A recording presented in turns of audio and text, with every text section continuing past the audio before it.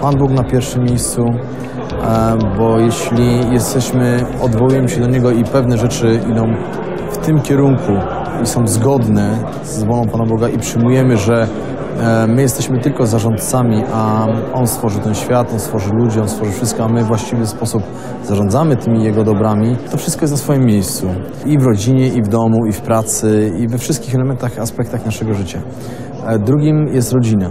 Bez rodziny nie mamy sensu życia. To my dla rodziny pracujemy, my dla, e, dla dzieci tworzymy to wszystko, dla, e, w rodzinie znajdujemy oparcie.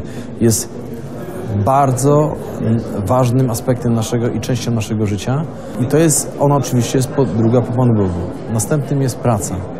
E, Jeśli w sposób właściwy będziemy pracować, e, szanować swoich pracowników, pracodawców, budować pozytywne relacje w biznesie, e, na co dzień w pracy, nie musimy się martwić o to, czy wrócimy do domu zdrowi, szczęśliwi, e, czy nie musimy się martwić, jak będzie nasza praca, jak będzie jutrzejszy dzień wyglądał.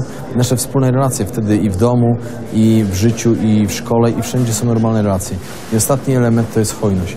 To jest to, żeby tą słynną dziesięcinę, czyli dzielmy się z tym, co dostajemy, bo to stukrotnie wraca do nas. Jak nie w postaci e, monety, to na pewno w postaci dobrego człowieka, który pomoże. Zależy w jakiej dziedzinie. W, dzie, w dziedzinie em, społecznej, biznesu, a ksiądz Piotr Wawrzyniak. W aspekcie religijnym a, i takim społecznym oczywiście e, święty Jan Paweł II.